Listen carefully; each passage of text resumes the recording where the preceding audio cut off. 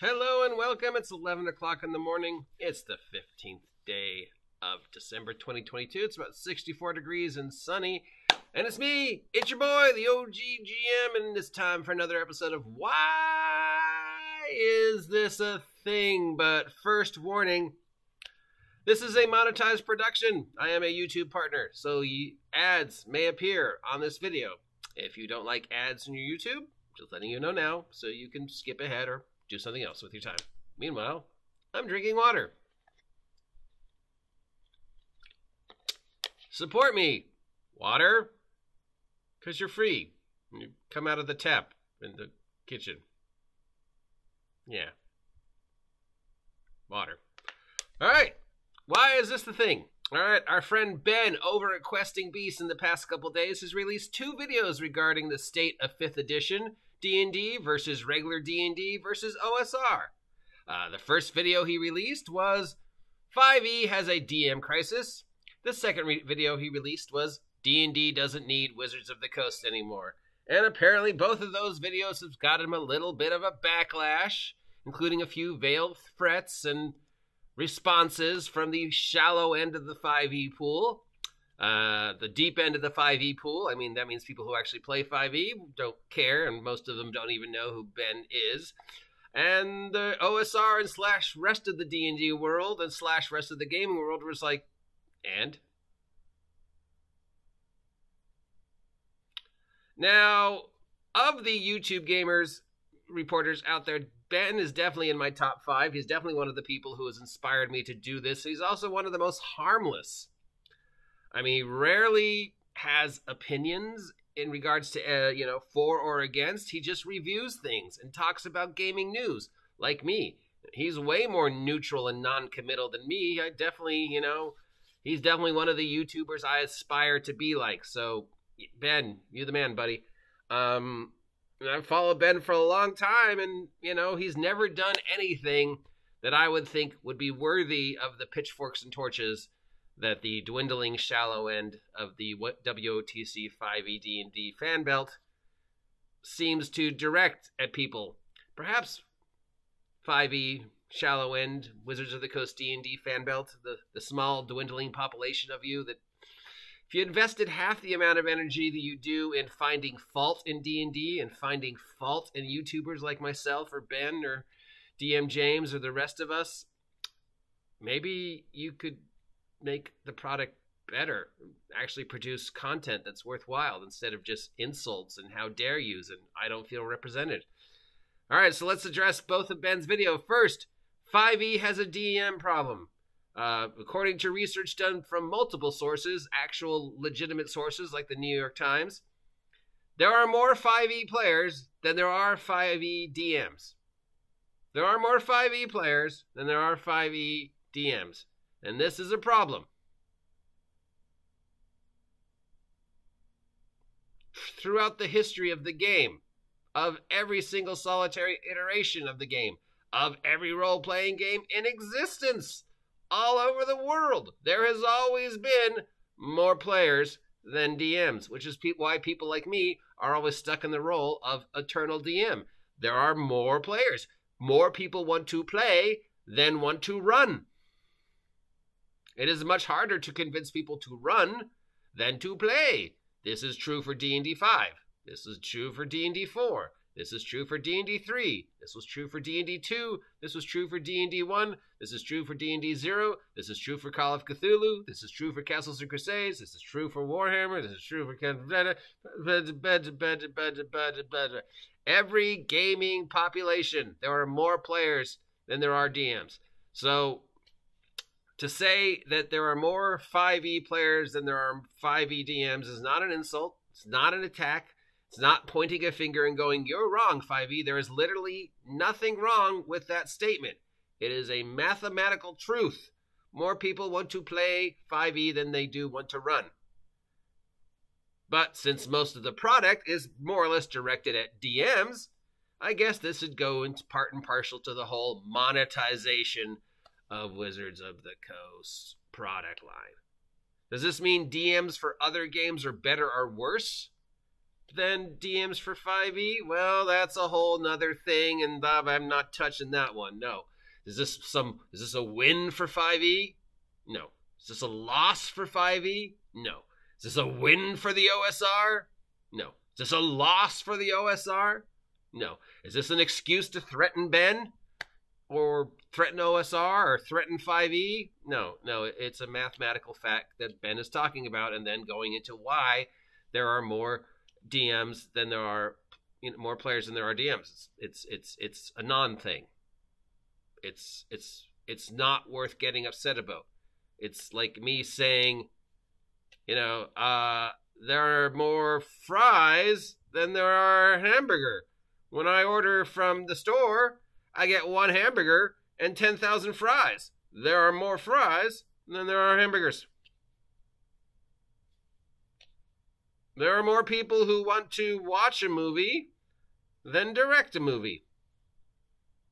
There are more people who want to play video games than build one. There are more people who like food than don't. It's a non thing. It's it's not worth getting upset about. It's not worth posting videos about. It's really not worth responding to. It's just Ben stating mathematical facts that have been in existence as long as the holiday hobby has been in existence. So once again, dwindling 5e support groups who have turned 5e into something it was never intended to be. You need to just sort of stop. If you're concerned about the trash fire that Wizards of the Coast has become, you kind of need to look in the mirror you know, because you're the ones that Wizards of the Coast keeps trying to appease, and you're the ones who are still not happy. Ben's statement is not worth getting upset about. All right, let's go to the second statement. D&D doesn't need Wizards of the Coast anymore. That is absolutely 100% true. If Hasbro restructured once again p- past the continuing restructures Hasbro can produce Dungeons and Dragons product. Third party companies can produce Dungeons and Dragons product. 5e is not going to disappear. 4e, 3e, 2e, 1e, the OSR, it's not going anywhere.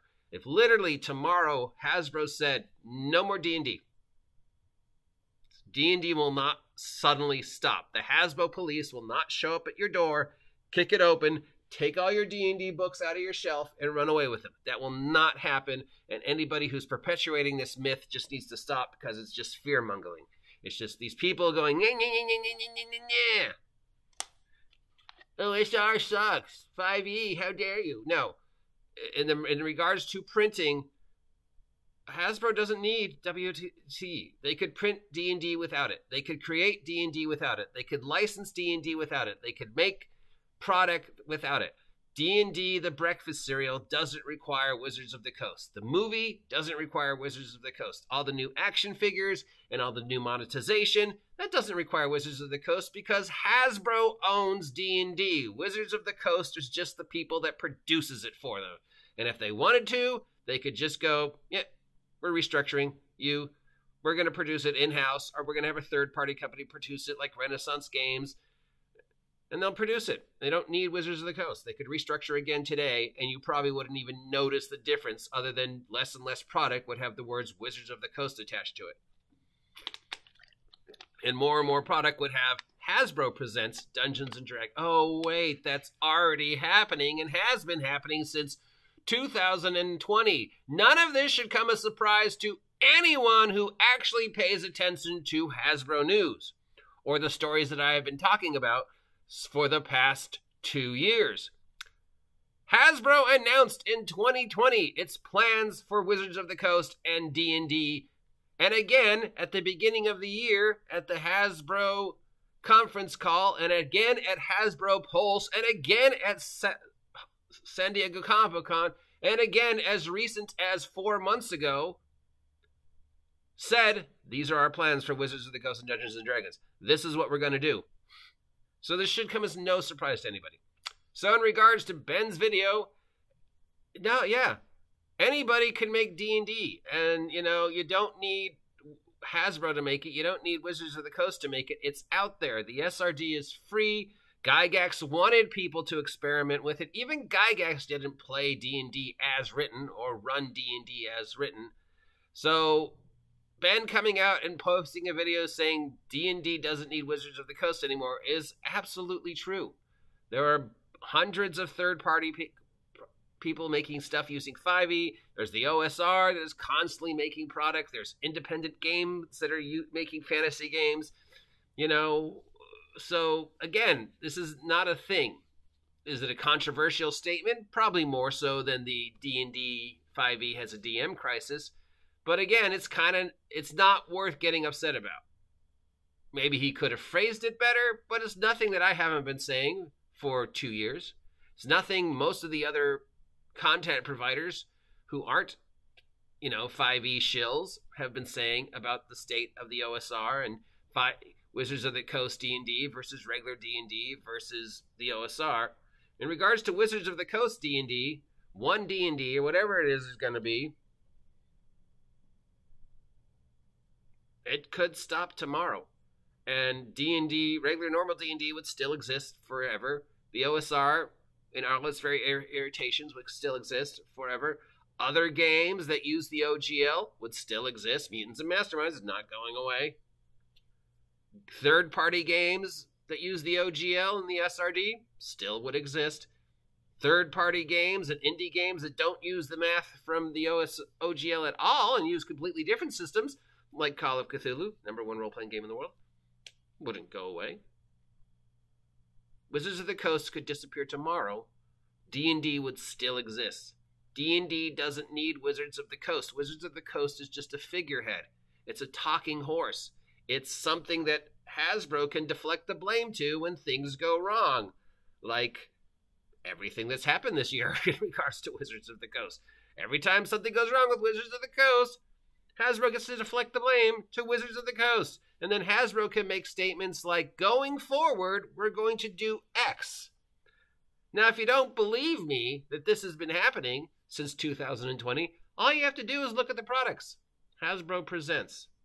Hasbro presents. Hasbro presents. Hasbro presents. As recently as the Lego D&D crossover thingy, Hasbro and Lego, not Wizards of the Coast and Lego. D&D movie, Hasbro and Paramount. The D&D TV show which is in perpetual who knows what, Hasbro and Netflix.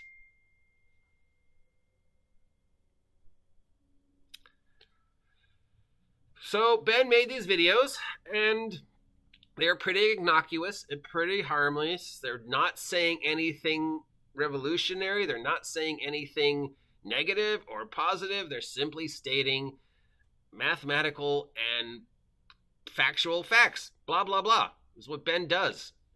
Ben is harmless. He's one of the best gaming YouTuber reviewers out there. I, I have nothing but respect for him. I wouldn't know about half of the OSR games that I know about without Ben. He certainly doesn't need deserve people threatening him or insulting him or making videos about how he's wrong. You, you disagree with his opinion, fine. My opinion, I, you know, do I agree with Ben on both of these cases? Absolutely. 100% agree with Ben.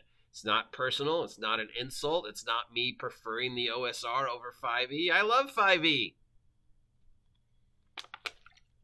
I just don't love what Wizards of the Coast is doing it, and I don't love the people that uses 5e as an excuse to bully and harass other people, like Ben or me or anybody else.